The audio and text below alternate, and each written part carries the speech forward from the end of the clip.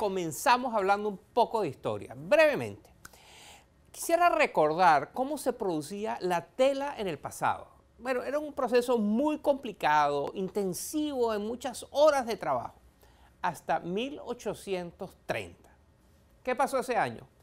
Un shock tecnológico, llegó una nueva tecnología, se inventaron las tejedoras automáticas y por primera vez, cuando de hacer tela se trata, las personas se volvieron obsoletas. Y es así como desde la revolución industrial, el lejano 1830, las máquinas de todo tipo han hecho más fácil y en muchos casos innecesario el trabajo físico de los seres humanos o el trabajo de los seres humanos, punto. Y ahora está volviendo a pasar. Estamos en plena revolución digital y las máquinas empiezan a conquistar puestos de trabajo que hasta hace muy poco tiempo eran exclusivamente controlados por la mente humana, por los seres humanos. Trabajos de cálculo matemático, de computación, de toma de decisiones, de procesamiento del lenguaje. Hoy tenemos coches, autos que se conducen solos, computadoras que juegan ajedrez mejor que cualquier gran maestro y teléfonos que entienden las órdenes que usted le da habladas. Y esto es solo el comienzo la revolución de la inteligencia artificial será tan transformadora como lo fue la revolución industrial. Los avances tecnológicos nos traerán muchísimas oportunidades, pero también enormes retos económicos, morales, políticos. Y para explorar este interesante tema, hemos preparado un informe que nos va a dar una visión de lo que está sucediendo y qué puede suceder. Miren.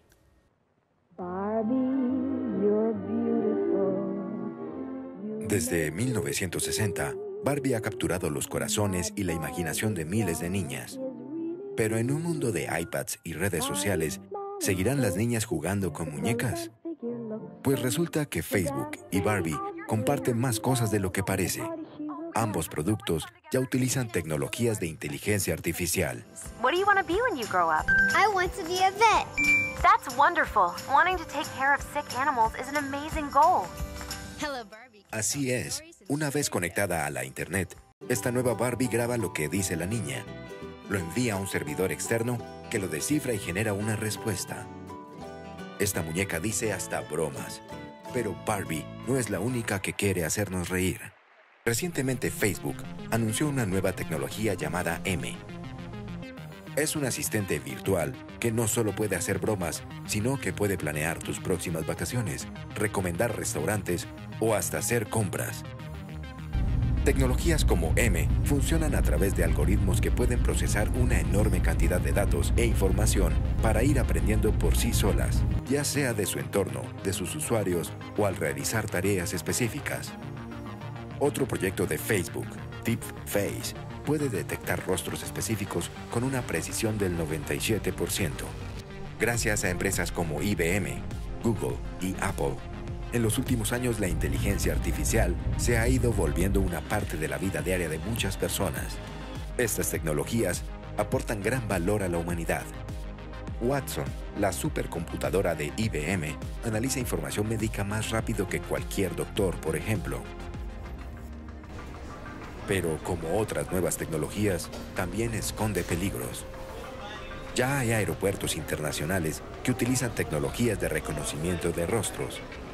Pueden ayudar a atrapar terroristas, pero ¿y la privacidad de los ciudadanos? Imagínese un mundo donde el gobierno puede monitorear y hasta encontrar a una persona específica en una multitud con tan solo una foto suya. La mayor preocupación que genera la inteligencia artificial gira alrededor de una pregunta simple. ¿Nos van a reemplazar las máquinas? Aaron Smith dirigió un estudio del Centro de Investigación Pew en Estados Unidos, donde recopiló las opiniones de cerca de 2.000 expertos sobre el futuro del empleo en un mundo con inteligencia artificial. Uh, Existe una gran inquietud entre los expertos. Muchos piensan que solo una minoría con habilidades muy particulares podrán conseguir trabajo. Así que unos pocos tendrán mucho éxito y ganarán mucho dinero, mientras que la gran mayoría no podrá ni siquiera competir con las máquinas desde un punto de vista económico.